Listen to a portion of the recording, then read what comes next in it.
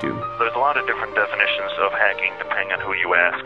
U.S. criminal law defines computer hacking as unauthorized access to obtain information, transmitting destructive code, expanded the definition in their you know ongoing efforts to criminalize everyday internet activity. If you ask someone like Richard Stallman, they'll tell you that it's really just a, a creative solution to a problem. But hackers also do like to break into systems.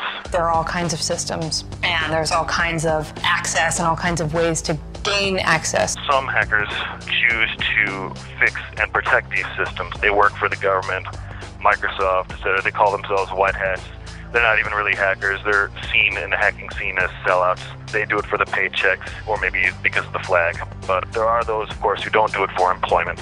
They don't do it for a paycheck. They do it for the love of solving complex puzzles, for the thrill of breaking into whatever artificial borders that these people decide to erect.